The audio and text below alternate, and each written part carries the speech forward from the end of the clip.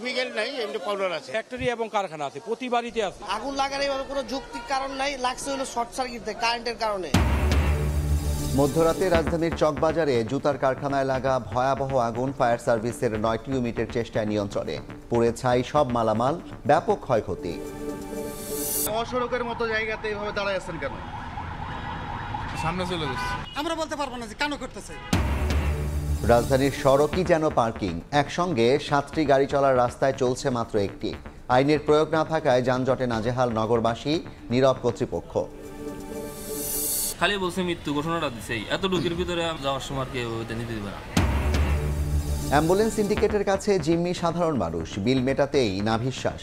রাজধানীর সরকারি হাসপাতালে সক্রিয় শক্তিশালী চক্র জেনেও নির্বিকার কর্তৃপক্ষ।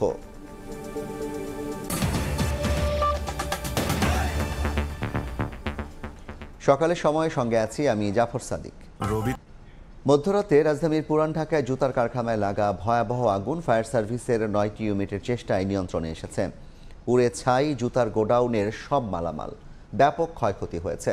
ফায়ার সার্ভিসের আড়াই ঘণ্টার চেষ্টায় আগুন নিয়ন্ত্রণে আসে। তবে সরু গলি হওয়ায় আগুন নেভাতে বেগ পেতে হয় ফায়ার সার্ভিসকে। ঘনবসতিপূর্ণ পুরান ঢাকার চকবাজারে ভোররাত তিনটার দিকে হঠাৎই মানুষের চিৎকার। ইসলামবাগের একটি বহুতল ভবনের আগুনে আতঙ্কিত হয়ে মানুষের দিক বিদিক ছোটাছুটি। স্থানীয়রা জানান শুক্রবার মধ্যরাতে পুরান ঢাকার ওই জুতার কারখানায় আগুন লাগার ঘটনা ঘটে। প্রথমে স্থানীয়রা পানি দিয়ে আগুন নেভানোর চেষ্টা করে। ততক্ষণে নির্বাপনের কাজে যোগ দেয় ফায়ার সার্ভিস। একে একে যুক্ত হয় নয়টি ইউনিট।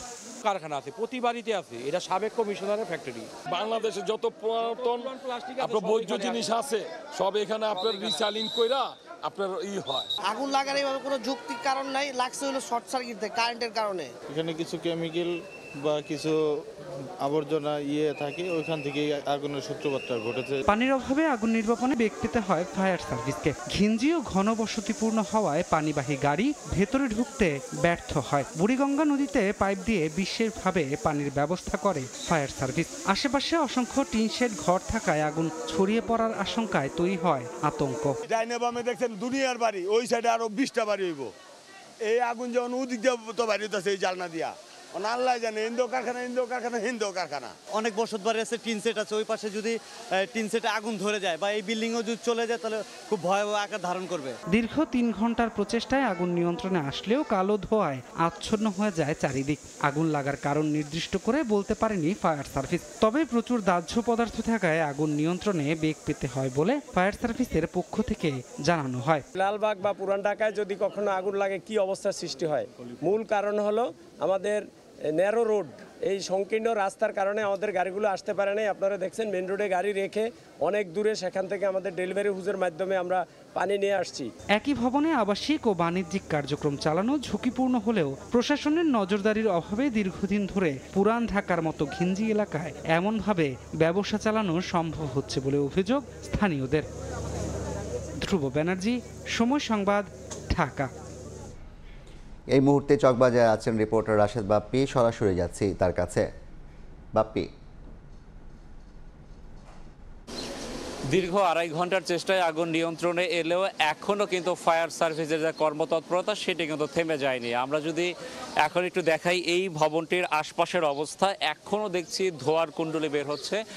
সেই ভবনটির ভেতর থেকে, অর্থাৎ ইসলামবাগের যে ভবনটিতে গতকাল রাতে আগুন লেগেছিল। আমরা জানি যে ফায়ার সার্ভিসের আট থেকে নটি ইউনিট কাজ করে একযোগে, কিন্তু এখনও আমরা দেখতে পাচ্ছি ভয়াবহ ধোঁয়া বের হচ্ছে। অর্থাৎ ভেতরে থেকে যে ধোঁয়া বের হচ্ছে বাইরে দাঁড়িয়ে থাকাও কষ্ট হয়ে যাচ্ছে। আমরা জানি যে জুতা তৈরির যে কেমিক্যাল সেই প্লাস্টিক জাতীয় কেমিক্যাল সেই ভেতরে ছিল। অর্থাৎ আগুন লাগার পরে সেই যে এখনও বিভিন্ন জায়গায় আগুন লেগেছিল বা কেমিক্যাল থেকে সেখান থেকে কিন্তু এখনও ধোঁয়ার বাইরে বেরিয়ে আসছে এবং ফায়ার সার্ভিসের কর্মীরা সেই ধোয়া কিন্তু কারণ আমরা জানি আগুন নিয়ন্ত্রণে বা নিভে গেলেও ছাই চাপা আগুন বলতে একটি কথা আছে। সেই ছাই চাপা আগুন থেকেও কিন্তু আবার নতুন করে আগুনের সূত্রপাত হতে পারে, সেই আশঙ্কাও কিন্তু থেকে যায়। সেই জন্য আমরা দেখতে পাচ্ছি যে ফায়ার সার্ভিস কর্মীরা রাতভর তারা কাজ করেছেন আগুন নেভানোর জন্য, কিন্তু এখনও তারা এখান থেকে সরে যাননি, অর্থাৎ তারা এই যে অভিযানটি, সেই অভিযানটি এখনও স্থগিত করেননি।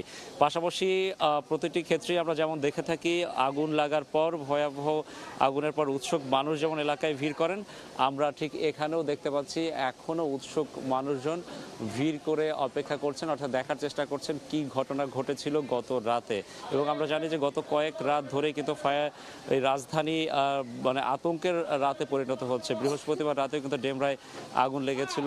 একটি খেলার সামগ্রী তৈরির কারখানার একটি ভবনে। সেই ভবনটি কিন্তু পুরোপুরি ক্ষতিগ্রস্ত হয়। এবং বৃহস্প শুক্রবার রাতে যে ইসলামবাগের এই ভবনটিতে আগুন লাগে এবং আমরা যদি ভেতরে দেখি ফায়ার সার্ভিসের কর্মীরা এখনও কিন্তু তারা ভেতরে অবস্থান করছেন। আমরা আমাদের ক্যামেরায় কিন্তু সেই দেখতে পাচ্ছি। ভেতরে বসেই তারা চেষ্টা করছেন যাতে সেই ধোঁয়া থেকে নতুন করে কোনো আবার আগুনের সূত্রপাত না ঘটে। পাশাপাশি এই যে এলাকাটি, অর্থাৎ ইসলামবাগের যেখানে আগুন লেগেছে, তার আশপাশে আমরা এইখানে সকাল থেকে দেখেছি যে পুরো এলাকাতেই হচ্ছে কেমিক্যালের নানা ধরনের কারখানা রয়েছে। সকালেও বিভিন্ন এই যে ভবনগুলো রয়েছে, সেই ভবনগুলো থেকে বিভিন্ন ধরনের কেমিক্যালের জিনিসপত্র নামিয়ে মানুষের কাজ কর্ম আমরা দেখতে পেয়েছি, অর্থাৎ শ্রমিকদের।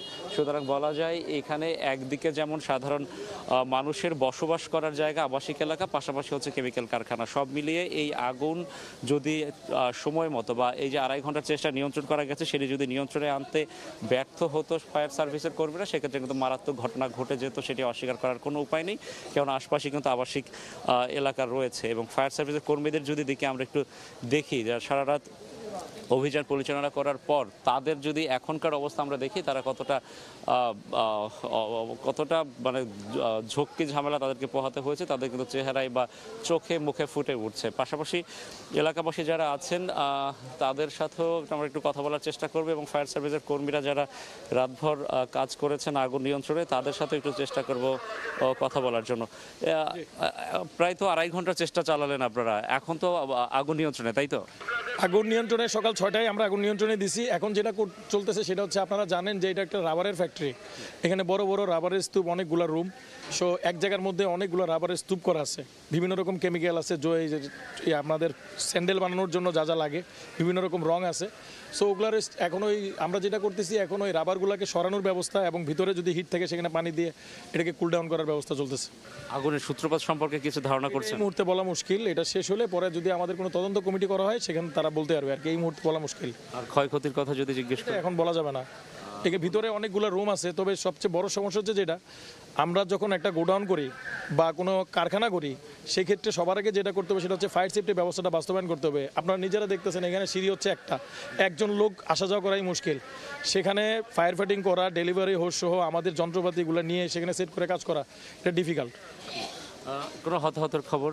না আমাদের কাছে এই ধরনের কোনো মেসেজ নাই। তাহলে বলতে পারেন যে ফায়ার সার্ভিসটি এই- এই যে ভবনটি সেই ভবনটিতে পর্যাপ্ত সুরক্ষা ব্যবস্থা ছিল না। আমরা কিছুই দেখতে পারিনি। অনেক দূর থেকে নদী থেকে বুড়িগঙ্গা নদী থেকে রিলে করে আমরা এখানে পানি আনতে হয়েছে আমাদের। অর্থাৎ পানিতেও সংকট ছিল। পানির সংকট তো অবশ্যই আর আপনারা দেখতেছেন আপনাদের মাথার উপরে দেখেন বিদ্যুতের তার যেটা। আমাদের আসলে যখন আমরা ফায়ার ফাইটিং করি অনেক জিনিস মাথায় রাখতে হয়। ভবনটাতে তো আগুন আছেই পাশে যেভাবে ট্রান্সফরমার আছে বা বিদ্যুতের তার যেভাবে ছড়ায় ছিটে আছে আগুনটা যদি ওখান থেকে ট্রাভেল করে দেখেন পাশাপাশি লাগোয়া ভবন সব এখানে কিন্তু চলে আসতে পারতো। সেদিকটা আমাদের মাথায় রাখতে হয়েছে। এবং এই চারতলা যে ভবন এটি পুরোটাই কারখানা ছিল কোনো আবাসিক জি জি সবগুলাই যেখানে জুতার স্যান্ডেল বানানোর কারখানা রাবার আছে বিভিন্ন রকমের রাবার কেমিক্যাল আছে বিভিন্ন ধরনের মেশিনারিজ আছে। অনেক ধন্যবাদ আপনাকে। আমরা যদি এই ফায়ার সার্ভিসের এই ভাইয়ের দিকে একটু তাকাই। আমাদের ভলান্টিয়ার আমরা যখন কাজ করি আপনার ভলেন্টিয়ার হ্যাঁ উনি হচ্ছেন আমাদের ফায়ার ব্রিগেডের ভলান্টিয়ার ভলান্টিয়ার আরও অনেকেই ছিল। তো প্রথম থেকেই তারা এখন যে কোনো জায়গায় আমরা যখন যাই ওই এলাকার যারা ভলান্টিয়ার আছে আমাদের সাথে কাজ করার জন্য আসে। একটু আপনার ভলান্টিয়ার আপনার যে চেহারার অবস্থা একটু আপনার সাথে কথা বলি। মানে কি বা কতটা ধকল পোহাতে হলো আগুন নিভাতে গিয়ে? আলহামদুলিল্লাহ ভালো লাগে দেশের সেবা করতে। দেশটা তো আমার এক সাধ্যের একা না দেশটা আমারও। তো দেশকে ভালোবাসতে আমার অনেক ভালো লাগে ভাই। কারণ প্রত্যেকটা মানুষের মুখে হাসিটা ফিরে দিতে আমাদের অনেক ভালো লাগে। আচ্ছা আপনি কি এই এলাকারই বাসিন্দা? জি এলাকার বাসিন্দা এবং একজন স্বেচ্ছাসেবী? জি। এই এলাকার অবস্থা কি? এই কেমিক্যাল দুর্ঘটনা কিন্তু আগে ঘটেছিল আমরা দেখেছিলাম আহ, চুরিহাটের সময় দুই হাজার উনিশ সালে। আবার এখানেও কেমিক্যালের ঘটনা। পাশাপাশি কিন্তু এখানে আবাসিকও বাসাবাড়ি আছে। এই কেমিক্যাল গোডাউনগুলো সরিয়ে নেওয়ার কথা ছিল সেটি কিন্তু এখন সরে যায়নি তাই তো? জি। এখানে কি বলতে গেলে কি, আমরা বলতে আচ্ছা আচ্ছা অনেক ধন্যবাদ। আমরা কথা বলছিলাম একজন পাশাপাশি ফায়ার সার্ভিসের একজন কর্তা ব্যক্তির সঙ্গে। তারা যেমনটা বলছিলেন, এই ভবনটির যে অবকাঠামোগত অবয়ব, সেটি কিন্তু ফায়ার আগুন নেভানো থেকে শুরু করে উদ্ধার তৎপরতা চালানোর মতো পর্যাপ্ত ব্যবস্থা ছিল না। যে সিঁড়ি ছিল, সেই সিঁড়ি দিয়ে একজন মানুষ ওঠাই কষ্টকর ছিল। পাশাপাশি হচ্ছে এখানে পানির সূত্রপাত বা পানির উৎসও কিন্তু কাছাকাছি ছিল না। বুড়িগঙ্গা নদী থেকে পানি এনে ভবনের আগুন নিয়ন্ত্রণে কাজ করতে হয়েছে। সব কিছু মিলিয়ে তাদেরকে বেশ বেগ পোহাতে হয়েছে। অর্থাৎ আগুন যদি এবং পাশাপাশি ভেতরে যেহেতু কেমিক্যালের জিনিসপত্র ছিল, অর্থাৎ জুতা তৈরির যে কেমিক্যাল বা প্লাস্টিকের যে উৎস সেগুলো যেহেতু ছিল, সেটা যদি খুব সহজে নিয়ন্ত্রণ করা না যেত, সেক্ষেত্রে এই ভবনের আশপাশ ঘেরা যে পাশের যে ভবনগুলো রয়েছে, সেগুলো কিন্তু আবাসিক। অর্থাৎ সেই বাসা বাড়িতে যদি আগুন চলে যেত, সেক্ষেত্রে কিন্তু ভয়াবহ দুর্ঘটনার আশঙ্কা করা হতো, হতাহতের আশঙ্কা করা হতো। পাশাপাশি এখন পর্যন্ত ফায়ার সার্ভিসের কর্মীরা যেটা বলছেন, এক্ষেত্রে বা এই আগুনের ঘটনায় কোনো হতাহতের ঘটনা এখন পর্যন্ত নেই, তবে কেন বা কী কারণে আগুন লেগেছে সে সম্পর্কে তারা এখন পর্যন্ত কিছু আমাদেরকে জানাতে পারেনি। আমরা একটু এখানকার যারা এলাকাবাসী আছেন, তাদের সাথে একটু কথা বলার চেষ্টা করব। কি অবস্থা? আপনারা তো এখানকারই বাসিন্দা। আশপাশেই থাকেন আপনারা? অনেক দূরে। আচ্ছা দেখতে এসেছেন তাই তো? জি। আচ্ছা আপনারা আশপাশের এখানকার? কি কি হয়েছিল একটু আপনারা কি দেখেছিলেন রাতে? না ঘটনাস্থলে তো ছিলাম না রাত্রে আমরা। আচ্ছা সকালে দেখতে এসেছেন? এই যে হপাই আসলাম এই। তো এই ভবনের আশপাশে তো অনেক বাসা বাড়ি আছে তাই তো? জি অবশ্যই আশেপাশে তো অনেক বাসা বাড়ি আছে। এখন তো আপনাদের বাসা বাড়িও যেখানে পাশে পাশে আবার কেমিক্যালের গোডাউন আপনাদের ঝুঁকি কি মনে করেন? এটা তো অবশ্যই ঝুঁকিপূর্ণ। আশেপাশে সব বাসা বাড়ি এখানে যদি একটা ফ্যাক্টরি থাকে, এটা তো ঝুঁকিপূর্ণ হইব আসলে এই বাসিন্দা যে বিষয়টি বলছিলেন মূল ঘটনা কিন্তু এটি। আমরা যদি একটু পুরনোতে ফিরে যাই, অর্থাৎ চুরিহাট্টা ট্রাজেডি সেটি কিন্তু এখনও খুব বেশি সময় পার হয়নি। দু সালের বিশ ফেব্রুয়ারি, ওয়াহেদ ম্যানশন যেখানে আগুনে পুড়ে মৃত্যু হয় একাত্তর জনের। সেই দুর্ঘটনার কথা যদি আমাদের মনে থাকে, সেক্ষেত্রে এই যে ভবনটিতে, যে কেমিক্যালের কারখানাটিতে আগুন লেগেছে, তার সঙ্গে কিছুটা সাদৃশ্য রয়েছে। আর এই যে ইসলামবাগ ইসলামবাগ আর ওয়াহেদ মেনশন খুব বেশি দূরে নয়। এটি কিন্তু খুব বেশি দূরের পথ নয়। অর্থাৎ সেই যে দুর্ঘটনা, সেই দুর্ঘটনা থেকে শিক্ষা যদি মানুষ নিত, সেক্ষেত্রে কিন্তু এই কেমিক্যালের গোডাউন এখানে থাকার কথা নয়, পুরান ঢাকায়। এবং কেমিক্যালের গোডাউন লাগোয়া মানুষের কিন্তু বাসা বাড়ি। সুতরাং যদি বড় কোনো আচ্ছা উপর থেকে কিন্তু এখনও চিৎকার করে ফায়ার সার্ভিসের কর্মী যিনি আছেন, যাকে আমরা ক্যামেরায় দেখতে পাচ্ছি, তিনি কিন্তু বলছেন উপরে এখনও ধোয়া, অনেক বেশি ধোয়া, এবং তিনি ফায়ার সার্ভিসের নিচে যারা অবস্থান করছেন, তাদের কাছ থেকে কোনো সহায়তা চাচ্ছেন। অর্থাৎ যেটি বলছিলাম যে আগুন নিয়ন্ত্রণে এলেও এখনও কিন্তু ফায়ার সার্ভিসের কর্মীদের কাজ শেষ হয়নি। তারা কিন্তু এখন ধোয়া মোকাবেলা, অর্থাৎ ভেতরে যে পরিমাণ ধোয়া রয়েছে, সেই ধোয়া নিয়ন্ত্রণের কাজটি তারা চালিয়ে যাচ্ছেন। অর্থাৎ এই ধোয়া থেকেও যেহেতু ফায়ার সার্ভিসের যার সঙ্গে কিছুক্ষণ আগে আমার কথা হলো, তিনি যেমনটা বলছিলেন যে ভেতরে বড় বড় বস্তা বড় বড় বস্তা আছে, যে বস্তার মধ্যে নানা ধরনের কেমিক্যাল পণ্য রয়েছে। সেই কেমিক্যালের পণ্য থেকে এখনও কিন্তু ধোঁয়া বের হচ্ছে। অর্থাৎ সেই কেমিক্যালের যে বস্তাগুলো রয়েছে, সেখান থেকে কিন্তু যে কোনো মুহূর্তে আবার নতুন করে যাতে আগুনের সূত্রপাত না হয়, সেটিও কিন্তু এক ধরনের বড় চ্যালেঞ্জ এবং সেই চ্যালেঞ্জ মোকাবেলায় ফায়ার সার্ভিসের কর্মীরা কাজ করে যাচ্ছেন। বলি আবার একটু বলে রাখি যে শুক্রবার দিবাগত রাত তিনটার পরেই কিন্তু রাত এই আগুনের ঘটনার আসলে সূত্রপাত হয় এবং ফায়ার সার্ভিস যখনই খবর পান, সঙ্গে সঙ্গে কিন্তু পাঁচ মিনিটের মধ্যে তারা প্রথমে একটি ইউনিট পাঠান। পরবর্তীতে কিন্তু আরও আটটির মতো ইউনিট পাঠানো হয়। এবং এবং এরপরে কিন্তু আট থেকে নয়টি ইউনিটের আড়াই ঘণ্টার চেষ্টায় তারা আগুন নিয়ন্ত্রণে আনেন। এখন আমরা দেখতে পাচ্ছি পুরো এলাকাটি ঘিরে কিন্তু উৎসুক মানুষের ভিড়। অর্থাৎ আশপাশের যারা বাসিন্দা আছেন, আগুনের ঘটনার পর তারা মূলত দেখতে এসেছেন কি অঘটন এই জায়গাটিতে ঘটেছে বা কি ভয়াবহ অবস্থা তৈরি হয়েছিল। ফায়ার সার্ভিসের ঊর্ধ্বতন একজনের সঙ্গে কিছুক্ষণ আগে আমাদের কথা হয়েছে। পুরান ঢাকার যে বাস্তবতার মধ্যে আরেকটি বাস্তবতার কথা বলতে হয় যে, আমরা যখন এই এলাকাটিতে আসি, অর্থাৎ এই চকবাজারের এই ইসলামবাগ এলাকায় আসতে গিয়েও কিন্তু বেশ বেগ পোহাতে হয়েছে। আমরা জানি একদম সকালের দিকে রাস্তাঘাট ফাঁকা থাকে, কিন্তু যখনই একটু বেলা বাড়তে থাকে, তখন কিন্তু এই সড়কগুলোতে সাধারণ মানুষের চলাচল কিন্তু খুব কষ্টসাধ্য হয়ে পড়ে। ঠিকমতো কিন্তু গাড়ি চলে না, কেননা খুবই সংকীর্ণ পথ। সেই সংকীর্ণ পথও কিন্তু পুরান ঢাকাবাসীর জন্য বিপদের কারণ। কেননা এই সংকীর্ণ পথ ধরে ফায়ার সার্ভিসের গাড়ি আসাও কিন্তু বেশ কষ্টসাধ্য। অর্থাৎ সঠিক সময়ে আগুন নিয়ন্ত্রণের জন্য পৌঁছানো বেশ দুঃসাধ্য, যেমনটা আমরা চকবাজারের চুরিহাটা ট্রাজেডির ক্ষেত্রে দেখেছিলাম। ফায়ার সার্ভিসের কিন্তু গাড়িগুলোকে পৌঁছাতে বেশ বেগ পোহাতে হয় এবং তাদের কাজ আগুন নিয়ন্ত্রণের জন্য তাদেরকে যথেষ্ট বেগ পোহাতে হয়েছিল। এ তো গেল সড়ক ধরে আসার যে জায়গাটি বা যে পথটি, এর পাশাপাশি বড় সংকট হচ্ছে পানি। কেননা আমরা যে ফায়ার সার্ভিসের যে পানি দিয়ে আগুন নিয়ন্ত্রণের চেষ্টা করতে দেখছি বা তারা এখনও যে পানিটি ব্যবহার করছেন আগুন নেভানোর ক্ষেত্রে, সেগুলো কিন্তু আমরা তাদের সাথে কথা বলে জেনেছি। তারা হচ্ছে বুড়িগঙ্গা নদী থেকে পানি এনেছেন। অর্থাৎ তাদের পানির উৎসও কিন্তু খুব কাছাকাছি, কোথাও ছিল না। এজন্য তাদেরকে বেশ বেগ পোহাতে হয় এবং পুরো এলাকাটির যে চারপাশের রাস্তা, সেটিও আমরা দেখতে পাচ্ছি খুব সংকীর্ণ এবং সেই সংকীর্ণ পথ ধরে এসে কাজ করাও বেশ দুঃসাধ্য। যদিও ফায়ার সার্ভিসের কর্মী পাশাপাশি তাদের সঙ্গে স্বেচ্ছাসেবী যারা আছেন, তারা কিন্তু কাঁধে কাঁধ মিলিয়ে এই দুঃসাধ্য সাধন করেছেন। তারা দীর্ঘ আড়াই ঘণ্টার মতো সময় নিয়ে এই আগুন নিয়ন্ত্রণে আনতে তারা সক্ষম হন এবং আগুন নিয়ন্ত্রণে আনার পর আমরা একটু আপনাদের সাথে একটু কথা বলতে চাই। আপনারা তো এখানকারই বাসিন্দা। জি। এখন তো দেখতে দেখছেন যে কি ভয়াবহ অবস্থা তৈরি হয়েছে। যদি সঠিক সময় আগুন নিয়ন্ত্রণ করা না যেত আশপাশে তো বাসাবাড়ি আছে। হ্যাঁ ফ্যামিলি খুব কমই থাকে এখানে। কম- সব তো কারখানায় আছে এখন ফ্যামিলি কমই আছে। না আমি তো পাশের যে বাসাবাড়ি যেগুলো দেখছি সেখানে তো হ্যাঁ আছে হ্যাঁ কিছু আছে অর্থাৎ কেমিক্যাল কারখানা এবং আবাসিক। না এটি হলো সব রিসাইকেলিং মাল এখানে হয়েছে। কেমিক্যালের এখানে নাই এই যে যা দেখতেছেন সব হলো রিসাইকেলিং মাল। এইটা দিয়েই জুতা তৈরি করা হয়। হ্যাঁ কোনো কেমিক্যালের ইয়া নাই এখানে এই সেটা তো প্লাস্টিক অতি দাহ্য পদার্থ। না না না এটি কোনো ক্ষতির পদার্থ না এখানে। আগুন লাগলে খুব দ্রুত আগুনটা ছড়িয়ে পড়ে। এই যে কোনো একটা যে আপনার প্লাস্টিকে যদি আগুন ধরে তো এটা তো ওই সময় লাগে এটা ইয়া হইতে। কিন্তু কোনো ক্ষতি করে ইয়া না এখানে। ক্ষতিকর কিছু না কিন্তু প্লাস্টিক। আপনার নিজের কি প্লাস্টিকের কারখানা আছে কিনা? না না না।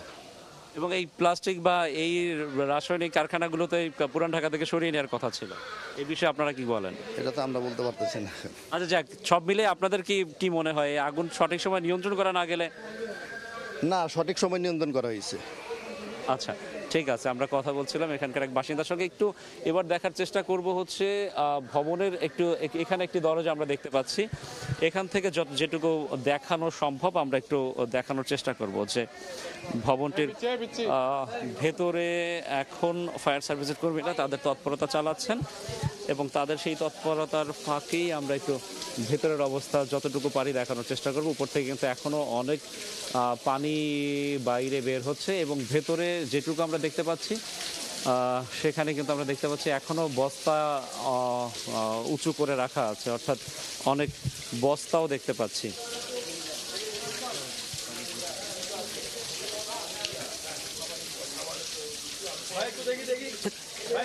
আমরা তারপর একটু চেষ্টা করব এই ভবনটির একটু, আমরা জানি যে ভেতরে এখনও বেশ ধোয়া রয়েছে। তারপরও এর পাশ দিয়ে একটু চেষ্টা করছি। যেটুকু ভেতরে গিয়ে একটু দেখানো যায় যে আসলে ভেতরকার অবস্থা কি। ভবনটির যে নিচতলা, আগে শুরুতে একটু শুরুতে একটু নিচতলাটা দেখাই। কেন না আমরা একটু আমরা একটু নিচতলাটা আমরা যদি এই ভবনের নিচতলা দেখি, এখানেও কিন্তু বড় বড় বস্তা এনে রাখা হয়েছে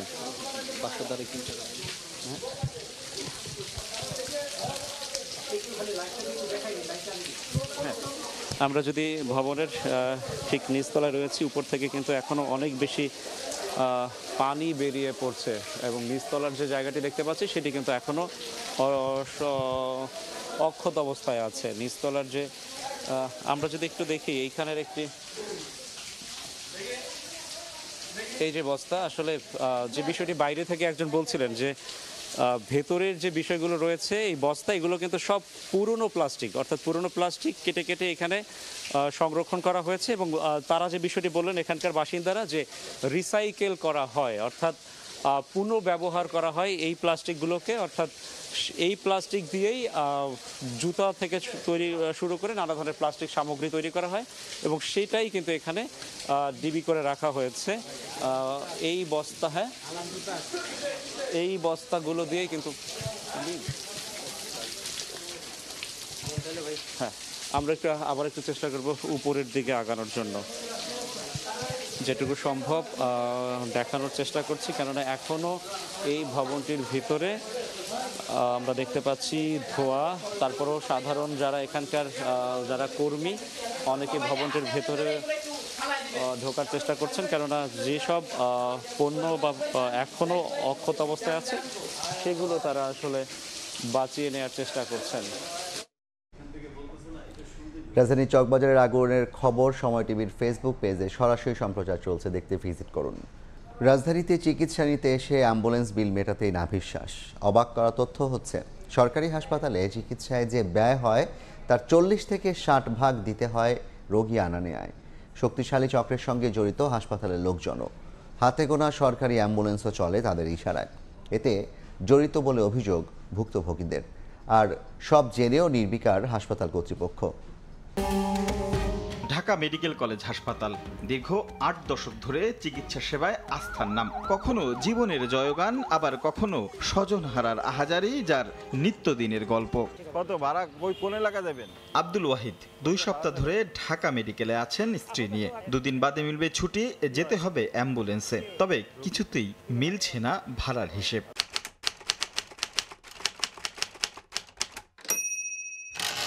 ধরুন যে টাকাটা আছে মানুষ আমার সহযোগিতা করার কারণে আমি এটি চিকিৎসাটা করতে পারছি যতটুকু পারছি। এখন আমার কাছে এখন মনে করেন যাওয়ার মতন কোনো পয়সা রাখতে আমার কাছে নেই। মাসুদ রানার রোগীর মস্তিষ্কে রক্তক্ষরণে চিকিৎসা ব্যয়ের চেয়ে তার আসা যাওয়ার খরচটাই বেশি।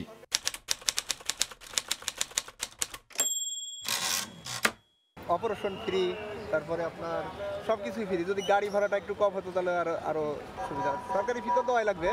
প্রায় একই অবস্থা দেশের সব থেকে বড় এই চিকিৎসা কেন্দ্রের প্রতিটি রোগীর। এখানে চিকিৎসা নেয়া দশজন রোগীর তথ্য নেয় সময় সংবাদ। নিউরো অর্থোপেডিকের মতো জটিল অপারেশনের পরেও চিকিৎসার যে ব্যয় তার প্রায় ষাট ভাগই গুনতে হয় আসা যাওয়ার খরচে। অপারেশনে মেডিসিন টেডিসিন প্রায় প্রায় সতেরো আঠারো হাজার টাকা অ্যাম্বুলেন্স ভাড়ায় ধরুন দশ হাজার প্লাস অ্যাম্বুলেন্সের দিকে ফেরা যাক। ডিএমসির গেটে সব সময় সরব একটি দল। বলতে গেলে এখানকার স্থায়ী বাসিন্দা তারা। রোগীদের স্বজনরা নামতেই ঘিরে ধরেন তাদের। যেতে হলে যেতে হবে তাদের গাড়ি নিয়েই। বিকল্প আর কোনো উপায় নেই। আবার বাইরে থেকে যেসব গাড়ি রোগী নিয়ে আসেন, ফিরতি ট্রিপ ধরা তাদের জন্য পুরোপুরি নিষিদ্ধ। অর্থাৎ এখানে একটি সিন্ডিকেটে বন্দী সাধারণ মানুষ। গাড়িটা আসছে গাড়িটা তো শুধু মারা গেছে ভিতরে নামাইছি খালি বলছে মৃত্যু ঘোষণাটা দিছে এত ঢুকির ভিতরে আমরা গাড়ি নিতে- যাইতে দেবেন না। পরে নিতে যাওয়া যাওয়ার সময় আর কেউ হইতে নিতে দেবে না। আমরা ডাইরেক্ট উঠাতে পারব না এখান থেকে।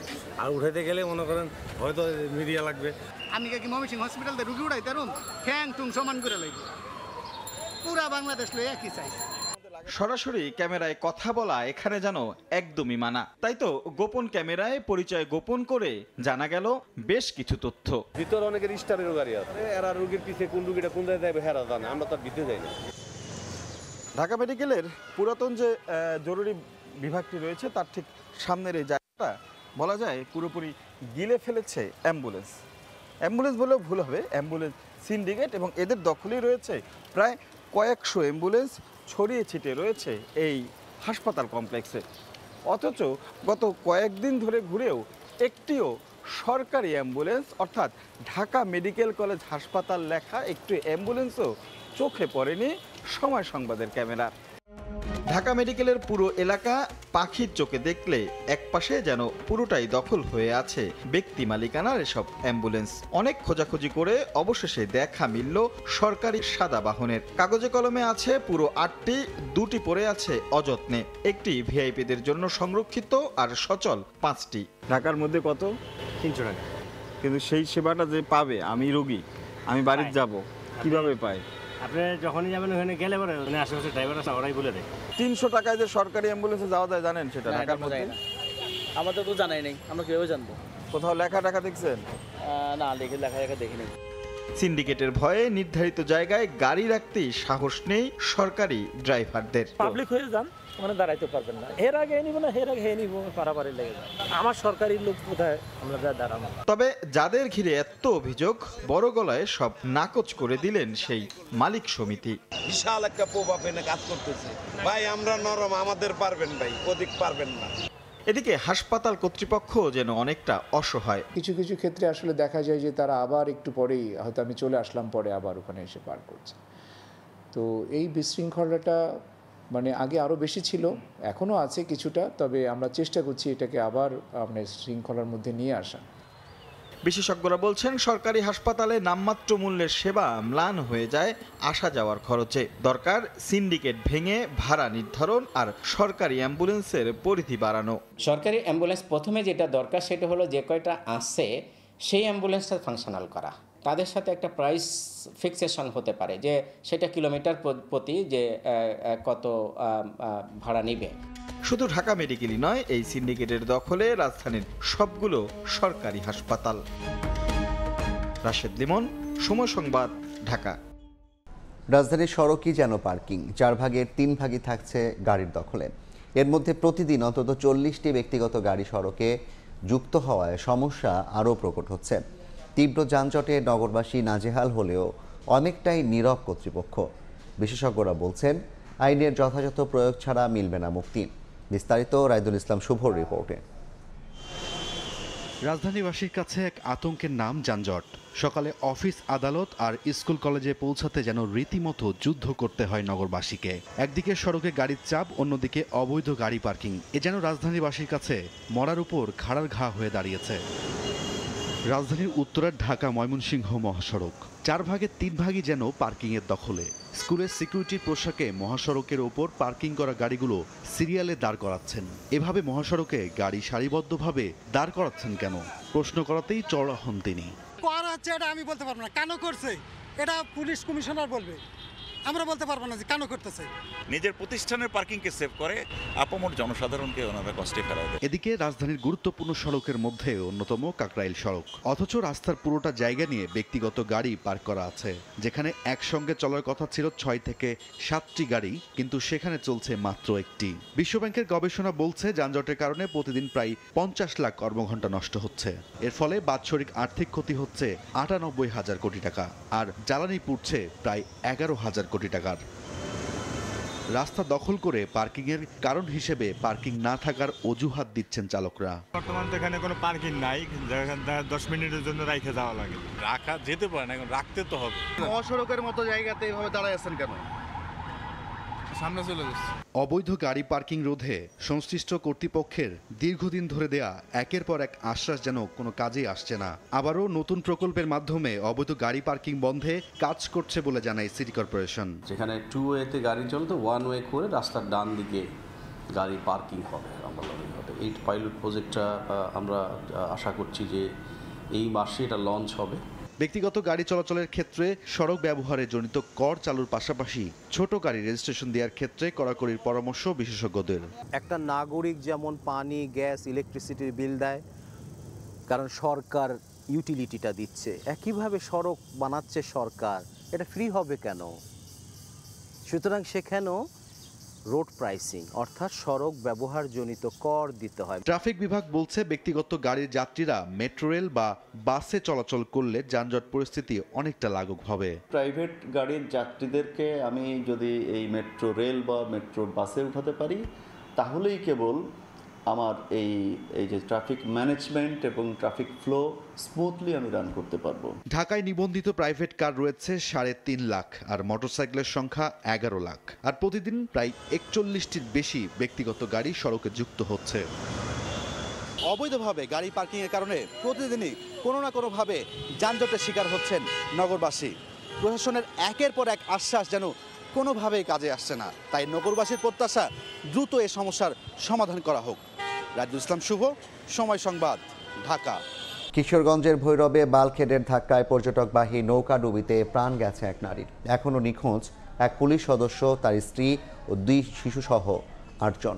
উদ্ধার অভিযান চালাচ্ছে ফায়ার সার্ভিসের ডুবুরি দল। শুক্রবার পরিবার নিয়ে আশুগঞ্জের চর সোনারামপুরে ঘুরতে যান পুলিশ সদস্য সোহেল রানা। নৌকায় ফেরার পথে দুই ছেলে মেয়ে স্ত্রীসহ নিখোঁজ হন তিনি। ফায়ার সার্ভিস জানায়, শুক্রবার সন্ধ্যা ছয়টার দিকে কিশোরগঞ্জের ভৈরবের মেঘনা রেল সেতু এলাকায় পর্যটকবাহী নৌকাকে পেছন থেকে সজোরে ধাক্কা দেয় বালখেড।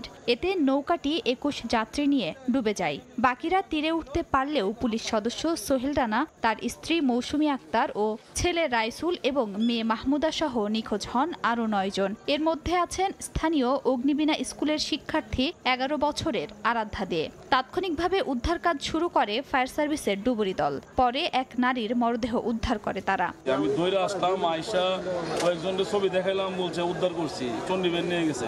গেলাম চণ্ডীবের ওইখানে নাই। আনুমানিক বিশ জনের মতো যাত্রী ছিল। তো তার মধ্যে বারো জনকে বিভিন্ন নৌকা যুগে উদ্ধার করা হয়েছে। আর বারো আট জনের মতো নিখোঁজ আছে তার মধ্যে একজন আহত একজনকে উদ্ধার করে ঢাকা মেডিকেলে পাঠানো হয়েছে। সময় সংবাদ কিশোরগঞ্জ। এই মুহূর্তে মেঘনা নদী এলাকায় আছেন রিপোর্টার উজ্জ্বল চক্রবর্তী। সরাসরি যাচ্ছি তার কাছে। উজ্জ্বল।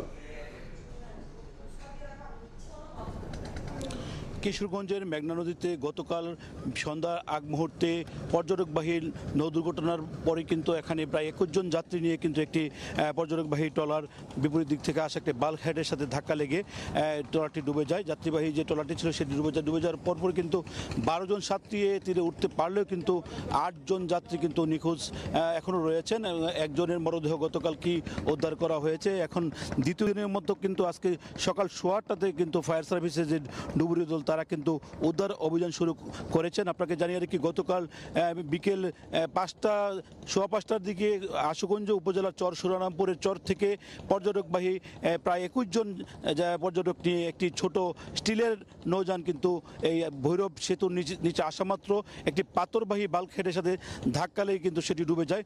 ডুবে যাওয়ার পরপরই কিন্তু এখানে ফায়ার সার্ভিসের ডুবুরি দল এসে কিন্তু সুবর্ণ আক্তার তার বাড়ি কমলপুর, তিনি কিন্তু নিহত হয়েছেন। তার লাশ উদ্ধার করে এরপর থেকে কিন্তু যে বাকি যে বারো জন যাত্রী ছিল তারা তীরে উঠতে সক্ষম হয়। এখন পর্যন্ত আটজন নিখোঁজ রয়েছে। এর মধ্যে ভৈরব হাইওয়ে থানায় কর্মরত কনস্টেবল সোহেল, তার স্ত্রী মৌসুমী আক্তার, ছেলে রাইসুল, মেয়ে মাহমুদ আক্তার এবং ভৈরব আমলাপাড়ার একই পরিবারের বেলনচন্দ্র দে, শ্যালক এবং তার শ্যালকের স্ত্রী রূপা দে এবং তার ভাসুরি মেয়ে আরাধ্যা দে, তারা কিন্তু এখন পর্যন্ত নিখোঁজ রয়েছে। নিখোঁজ থাকার কারণে যে স্বজনদের আহাজারিতে কিন্তু মেঘনার পার কিন্তু অনেকটাই ভারী হয়ে উঠেছে। আমরা স্বজনদের সাথে কথা বলেছিলাম। তারা উদ্ধার তৎপরতা নিয়ে ক্ষোভ প্রকাশ করছেন, বলছেন যে গতকালকে সন্ধ্যার পর কিন্তু আর উদ্ধার তৎপরতা শুরু করেনি। বেলা যত বাড়ছিল তাদের ক্ষোভ ততটা বাড়ছিল। যদিও সকাল সোয়াটা থেকে ফায়ার সার্ভিসের ডুবুরি দল কিশোরগঞ্জ থেকে এসে চার সদস্যের ডুবুরি দল কিন্তু তারা উদ্ধার তৎপরতা শুরু করেছেন এবং ইতিমধ্যে কিন্তু সেই কার্যক্রমটি চলমান আছে। আপনাকে জানিয়ে রাখি, বর্তমানে ভৈরব যে সেতু আছে, সেই সেতুর নিচে কিন্তু এই উদ্ধার অভিযান চলছে। এখানে উদ্ধার অভিযানে ফায়ার সার্ভিসের পাশাপাশি বাংলাদেশ অভ্যন্তরীণ নৌ পরিবহন কর্তৃ- কর্তৃপক্ষ বিআইডব্লিউ টিএ কিন্তু যোগ দিয়েছে এবং আমরা এই সেই বিআইডব্লিউ টিএ কিন্তু তৎপরতা তারা অংশগ্রহণ করছেন বলে আমাদেরকে জানানো হয়েছে। আমরা ফায়ার সার্ভিসের কর্মকর্তার সাথে কথা বলেছিলাম তারা বলছেন যে এখানে যে যারা নিখোঁজ আছে তাদেরকে না পাওয়া পর্যন্ত তাদের এই অভিযান চলবে। তারা বলছেন যদিও এখানে না পাওয়ার সম্ভাবনা বেশি, কেননা নদীর মধ্যে প্রচণ্ড স্রোত রয়েছে এবং এখানে নদীর গভীরতা অনেকটাই তুলনামূলকভাবে বেশি। সকালে কিন্তু বৈরী আবহাওয়া এবং ঘন কুয়াশা ছিল, যার কারণে তারা বলছেন তাদের উদ্ধার কিছুটা বিলম্ব হয়ে হচ্ছে বলে ফায়ার সার্ভিসের পক্ষ থেকে আমাদেরকে জানানো হয়েছে। বর্তমানে যে উদ্ধার তৎপরতা চলছে, এই উদ্ধার তৎপরতা কিন্তু বিআইডব্লিউ টি এর পক্ষ থেকেও তারা কার্যক্রম চালাচ্ছে। বিআইডব্লিউ টি এর যে ডুবুরি দল, তারাও এখানে উদ্ধার তৎপরতা অংশগ্রহণ করবে বলে আমরা প্রাথমিকভাবে জানতে পেরেছি। তবে সেটা কখন শুরু হয়, সেটা এখন পর্যন্ত আমরা নিশ্চিত নই। তো এই ছিল আমার কাছে ভৈরব নদীবন্দর থেকে যে নিখোঁজ পর্যটকবাহী ট্রলারের সর্বশেষ খবরাখবর। সরাসরি যুক্ত ছিলাম ভৈরব থেকে। কক্সবাজারের টেকনাফের পাহাড়ি অঞ্চল গেল অপহরণের অভয়ারণ্য। ভয়ে অনেকেই ছাড়ছেন ক্ষেত খামার। চক্রে রোহিঙ্গাদের সঙ্গে জড়িত স্থানীয় কিছু দুষ্কৃতিকারীও। জড়িতদেরকে ধরতে কঠোর অবস্থানে পুলিশ। মোহাম্মদ ফরাজের ক্যামেরায় বিস্তারিত জানাচ্ছেন সুজাউদ্দিন রুবেল। বড় বড় পাহাড়ে বেষ্টিত টেকনাফের নীলা ইউনিয়ন। আর এসব পাহাড় এখন অপহরণকারীদের অভয়ারণ্যে পরিণত হয়েছে। মুকুশ পরে পাহাড় থেকে নেমে অস্ত্রের মুখে কৃষক বা স্থানীয়দের জিম্মি করে নিয়ে যাচ্ছে আস্তানায় সেখানে নির্যাতন করে মুক্তিপণের দাবি পূরণ না হলে দিচ্ছে হত্যার হুমকিও। পাহাড় কেন্দ্রিক অপহরণের শুরু দু হাজার আঠারো সালে। পরে নীলা ইউনিয়নের সঙ্গে যোগ হয় বাহারছড়া ইউনিয়নও। একের পর এক কৃষক বা স্থানীয় বাসিন্দাদের অপহরণ করছে চক্র। তারপর মুক্তিপণ হিসাবে দাবি করা হচ্ছে মোটা অঙ্কের টাকা। স্থানীয়দের দাবি রোহিঙ্গা ও স্থানীয় অপরাধী চক্রের যোগসাজশে অপতিরুদ্ধ এই চক্র। পনেরো হাজার মানুষ আমরা জিম্মি। অল্প কিছু ডাকাতের হাতে। দিন দুপুরে এরা কাজ করতেছে ওখান থেকে নিয়ে যায়। তো নিয়ে যাইলে তারপরে এদেরকে মারধর করিয়া তারপরে মুক্তিপণ দাবি করে। আমরা সবাই আতঙ্কিত। এখানে আমাদের কোনো নিরাপত্তা নেই। এখন যে যে কোনো মুহূর্তে যে কেউ অপহরণ হয়ে যাচ্ছে। পাহাড়ের পাশে রয়েছে কয়েকটি রোহিঙ্গা ক্যাম্প। ক্যাম্পে কাটাতারের বেষ্টনী দেওয়া হলেও রোহিঙ্গা অপরাধী চক্র কাটাতার কেটে অবাধে পাহাড়ে যাতায়াত করছে। স্থানীয় জনপ্রতিনিধি বলছেন, রোহিঙ্গা ক্যাম্পের নিয়ন্ত্রণ আইন শৃঙ্খলা বাহিনী বা ক্যাম্প কর্তৃপক্ষের নিয়ন্ত্রণে নেই। রোহিঙ্গা যখন বাংলাদেশে আগমন হয়, এর এক বছর পর থেকে এই এই আপনার এই অপহরণটা বাণিজ্য শুরু হয়েছে আমাদের এখানে। রোহিঙ্গাদের যে ক্যাম্পের যে ইনচার্জ আছে, যে আইনশৃঙ্খলা বাহিনী আছে তাদের কিন্তু নিয়ন্ত্রণে রোহিঙ্গা ক্যাম্পটা নাই। আর পুলিশ বলছে রোহিঙ্গারা অপহরণ সহ নানা অপরাধে জড়িয়ে পড়ছে। আর অপহরণের পেছনে মাদক ব্যবসাও রয়েছে। এখানে রোহিঙ্গারা ম্যাক্সিমামে বিভিন্ন অপরাধের সাথে সম্পৃক্ত।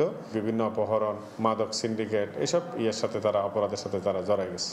গেল এক বছরে টেকনাফে বাংলাদেশি ও রোহিঙ্গা সহ অন্তত একশো ছয় জনকে অপহরণ করা হয়েছে। তাদের মধ্যে তিনজনকে অপহরণকারীরা হত্যা করেছে এবং বাকিদের অনেকেই টাকা দিয়ে মুক্তি পেয়েছে। সুজাউদ্দিন রুবেল, সময় সংবাদ ঢাকা বিশ্ববিদ্যালয়ের সামাজিক বিজ্ঞান অনুষদের ডিন ও ক্রিমিনোলজি বিভাগের অধ্যাপক ডক্টর জিয়া রহমান মারা গেছেন। শনিবার ভোর সোয়া চারটার দিকে হৃদরোগে আক্রান্ত হন তিনি। দ্রুত ল্যাবেড হাসপাতালে নেওয়া হলে তাকে মৃত ঘোষণা করেন চিকিৎসক। অধ্যাপক জিয়া রহমান ঢাকা বিশ্ববিদ্যালয়ের ক্রিমিনোলজি বিভাগের প্রতিষ্ঠাতা চেয়ারম্যান। বাদ জোহর বিশ্ববিদ্যালয়ের কেন্দ্রীয় মসজিদে অধ্যাপক জিয়া রহমানের জানাজা অনুষ্ঠিত হবে। যুক্তরাজ্যের প্রিন্সেস অব ওয়েলস ও ব্রিটিশ রাজবধূ কেট মিডলটন ক্যান্সারে আক্রান্ত হয়েছেন। শুক্রবার দেয় ভিডিও বার্তায় কেট মিডলটন নিজেই জানিয়েছেন এ তথ্য। লন্ডন থেকে শোয়েব কবিরের রিপোর্টে বিস্তারিত। Wonderful messages of support and for your understanding whilst I've been recovering from surgery. শুক্রবার সামাজিক যোগাযোগ মাধ্যম এক্সে নিজের ক্যান্সার আক্রান্তের কঠিন লড়াইয়ের বাস্তব সত্যটি ভিডিও বার্তায় জানান দিলেন ব্রিটিশ রাজবধূ ক্যাট মিডলটন। বললেন ক্যান্সারের প্রাথমিক অবস্থায় রয়েছেন তিনি। শুরু হয়েছে চিকিৎসা। একটি অপারেশনের পর বিভিন্ন পরীক্ষা নিরীক্ষায় ক্যান্সারের বিষয়টি সামনে আসে। আপাতত কেমোথেরাপি চলছে বলে ভিডিও বার্তা জানান ক্যাট। ক্যাট মিডলটনের ক্যান্সারের খবরে তার সুস্থতা কামনা করছেন ব্রিটেনের সাধারণ মানুষ। আমরা সবাই দোয়া করি যে রামাদান মাসে উনি সুস্থ হয়ে আমাদের মাথায় ফিরে আসেন। Get well soon fighting back ready. তিন সন্তানের মা ও প্রিন্স উইলিয়ামের স্ত্রী ক্যাটের শারীরিক অবস্থা বেশ উদ্বেগের বিষয় ব্রিটিশ রাজ পরিবারের জন্য। গত জানুয়ারি মাসে দুই সপ্তাহের জন্য হাসপাতালে ভর্তি ছিলেন ক্যাট। এর আগে গত ফেব্রুয়ারি মাসে খবর এসেছিল, রাজা তৃতীয় চার্লস ক্যান্সার আক্রান্ত। এবার তারই পুত্রবধূ ক্যাটের ক্যান্সার আক্রান্ত হওয়ার খবর পাওয়া গেল। শোয়েব কবির, সময় সংবাদ, লন্ডন। দেখছেন সকালের সময়। সিদ্ধান্ত বদলালেন সাকিব। শ্রীলঙ্কা সিরিজে না খেলার কথা জানালেও এবার মাঠে ফেরার আকুতি তার। লঙ্কানদের বিপক্ষে টেস্ট খেলার জন্য ধর্ণা দিয়েছেন বিসিবি সভাপতি নাজমুল হাসান পাপড়ের কাছে। এস এম ইকবালের চার পর্বের ধারাবাহিকের আজ থাকছে দ্বিতীয় পর্ব। ক্যামেরায় ছিলেন সাইদুর রহমান সৌরভ।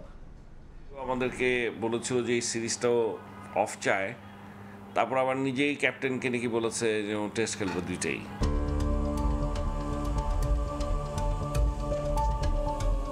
কি হয়েছে সাকিব আল হাসানের? শ্রীলঙ্কা সিরিজে খেলবেন না বলে নিজেই সরিয়ে নিয়েছেন নাম। তিনি কিনা ফেরার জন্য ধর্ণা দিচ্ছেন সব মহলে। তবে কি রাজনীতির মাঠের নানা বিতর্ক আষ্টে পৃষ্ঠে ঘিরে ধরেছে তাকে? সেই বেড়াজাল থেকে বেরিয়ে একটু প্রশান্তি কুড়ানোর জন্যই দ্রুতই ফিরতে চান মাঠে।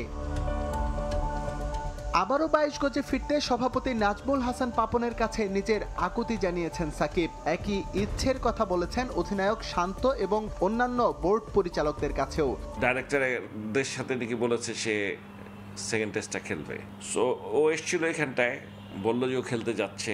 ওরও নিজেরও একটু বোঝা দরকার কি অবস্থা ফিটনেসের দু একটা ম্যাচ না খেললে বলা যাচ্ছে না। ইনজুরিতে একেবারেই টালমাটাল অবস্থা বাংলাদেশ দলের। ব্যাটে বলে কোথাও নেই অভিজ্ঞরা। পরিস্থিতি বিবেচনায় দ্বিতীয় টেস্টেই মাঠে ফিরছেন সাকিব। এরই মধ্যে সবুজ সংকেত দিয়েছেন বোর্ড সভাপতি। লঙ্কানদের বিপক্ষে অলরাউন্ডার সাকিবকেই চায় বাংলাদেশ। যদি সবকিছু ঠিক থাকে তাহলে সেকেন্ড ম্যাচ খেলার সম্ভাবনা খুব বেশি ওর। কারণ এই টেস্ট ম্যাচটা যে খেলবে আমাদের তো প্লেয়ারই পাচ্ছি না। এখন পর্যন্ত আমাকে যদি আপনি জিজ্ঞেস করেন আমাদের তামিম সাকিব মুশফিক রিয়াদের মতো কোনো প্লেয়ার এখন পর্যন্ত বাংলাদেশে নাই। চমক আসছে তামিম ইকবাল নিয়েও। দু হাজার চব্বিশে কোনো ম্যাচ খেলতে না চাইলেও বদলে যাচ্ছে পাশার দান। সেটা জানতে চোখ রাখুন এই ধারাবাহিক রিপোর্টের তৃতীয় পর্বে। এখনই তো সবচেয়ে ফিট এখন যদি না খেলে সামনের বছর কি হবে এটা কেউ বলতে পারে? এস এম ইকবাল সময় সংবাদ ঢাকা। এই ছিল সকালের সময়। আন্তর্জাতিক সময় নিয়ে সঙ্গে থাকবেন ফয়সাল পিয়াস। আপনাকে অসংখ্য ধন্যবাদ জাফর। দর্শক আন্তর্জাতিক সময় নিয়ে ফিরছি কিছুক্ষণ পর। সঙ্গে থাকুন সময়ের।